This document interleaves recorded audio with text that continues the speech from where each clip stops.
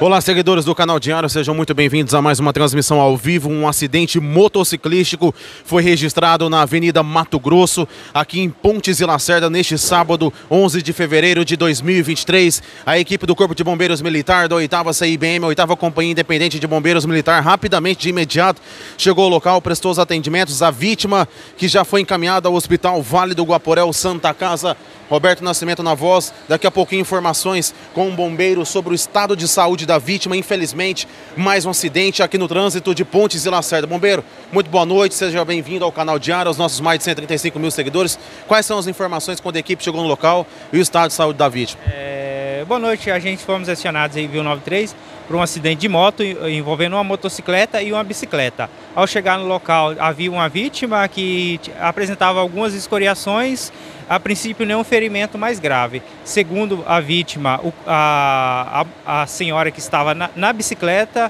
é, não, foi embora do local, não quis o atendimento do Corpo de Bombeiros. Atendimento rápido também, de imediato a equipe do Corpo de Bombeiros chegou e isso é muito fundamental. Sim, a gente, assim que fomos acionados, deslocamos rapidamente até o local para prestar os primeiros atendimentos né, às vítimas. Não tem nenhuma suspeita de fratura em relação à vítima? A princípio não, somente escoriações. Capacete, estava tudo ok? Não, tava, é, o capacete, ele mesmo fez a retirada do capacete. O que não é indicado? Não, o indicado é esperar a chegada do Corpo de Bombeiros para fazer a retirada do capacete com segurança, conforme os protocolos. Muito obrigado, parabéns pelo trabalho. Equipe do Corpo de Bombeiros da 8 CIBM, 8 Companhia Independente de Bombeiros Militar de Pontes Lacerda. Conforme vocês acompanharam a informação com um bombeiro, a vítima foi socorrida. Acidente envolvendo uma motocicleta e uma bicicleta na Avenida Mato Grosso, aqui em Pontes e Lacerda. Olha só, a equipe do Corpo de Bombeiros neste momento saindo, indo para a oitava CIBM, a vítima já dará entrada aqui ao Hospital Vale do Guaporé para receber todos os atendimentos médicos.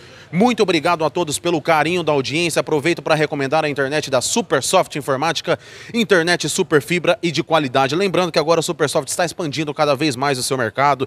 Estamos atendendo a comunidade Córrego da Onça com a internet super fibra. Também estamos atendendo a MT 473 ali no pé de galinha. Também estamos atendendo até a Ponte do Barreiro e o pessoal ali da Fazenda Triângulo na entrada. Ou seja, precisou, você morador dessas comunidades rurais, precisou de internet super fibra de qualidade, entra em contato com a Supersoft Informática, tudo com acessório a mais confiança. Também agradeço o apoio especial da Cell Center Celulares, a melhor assistência técnica de Pontes e Lacerda. Lembrando que chegaram capinhas para os modelos do iPhone 11 ao 14, capinhas que retratam o tradicionalismo do iPhone, ou seja, você quer deixar aquele iPhone seu com um visual tradicional, neutro, chegaram capinhas que valorizam esse tipo de gosto, tá bom? Ali na Avenida Municipal, esquina com a Caixa Econômica Federal. As imagens são dele, do Wellington Cazupa, repórter Roberto Nascimento para o canal Diário. O tempo todo com você.